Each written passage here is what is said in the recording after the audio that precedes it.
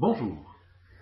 Les propriétés de la pulpe d'aloe vera sont scientifiquement reconnues et entre autres les synergies qui existent entre les 250 composants de cette plante où nous retrouvons entre autres des vitamines, des minéraux, des enzymes, des acides aminés. Pour ma part, à l'origine, j'étais sceptique sur les bienfaits de la pulpe d'aloe vera. Mais la manière la plus objective d'en parler, en positif comme en négatif, est de faire sa propre expérience et de la partager. Je l'avoue, j'ai mal commencé, car je n'ai pas écouté les conseils de mon épouse. Dès le premier matin, j'ai pris deux cuillères à soupe de pulpe. Vous n'imaginez pas la journée d'enfer que j'ai vécue avec un mal de tête phénoménal. Riche de cette expérience, j'ai tout de suite annoncé que je stoppais la prise de pulpe. Cependant, après avoir eu les explications sur les vertus détoxinantes de la pulpe d'aloe vera, j'ai suivi les conseils de mon épouse. Et j'ai commencé par une cuillère à mocha pendant une semaine, puis j'ai augmenté les doses chaque semaine pour arriver à deux cuillères à soupe avant chaque repas.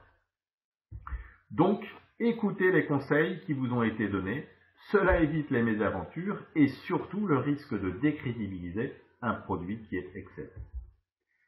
Je n'ai rien senti au niveau sensitif. Ce n'est pas pour autant qu'il n'y avait pas de bienfait, car j'étais dans un job particulièrement stressant et j'absorbais les coups sans trop de difficultés. Donc, j'ai envie de dire que si je n'avais pas pris de pulpe d'aloe vera, je me serais certainement beaucoup moins bien senti. Voilà pour les premiers éléments qui me sont propres et pour lesquels je n'ai pas de preuves factuelles car au niveau d'un ressenti personnel. Par contre, deux éléments concrets ont été ensuite constatés et constatables par tous.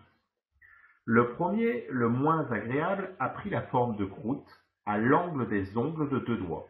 Croûte assez épaisse, très sèche, qui s'est craquelée. Après renseignement, c'est un émontoire, c'est-à-dire une réaction de l'organisme liée au fait de le détoxiner, en sachant que ces émontoires peuvent prendre trois formes, la peau, les poumons et les reins. Pour moi, c'était clair, c'était la peau. J'ai traité cela également avec de la crème d'aloe vera en cutané. Aujourd'hui, tout est rentré dans l'ordre.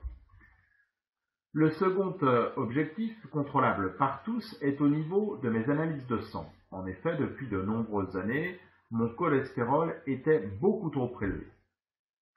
Le changement d'alimentation a permis de réduire ce taux, mais malgré un médicament en plus, ce taux restait trop élevé par rapport à mes antécédents médicaux. Mon médecin voulait impérativement que ce taux passe sous les 1 g.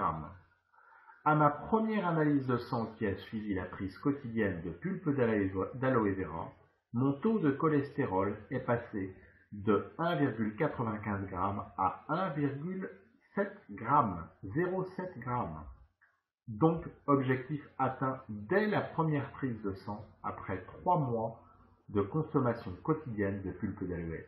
Qui dit mieux Alors, la vie vous sourit, souriez à la vie et surtout, donnez le meilleur.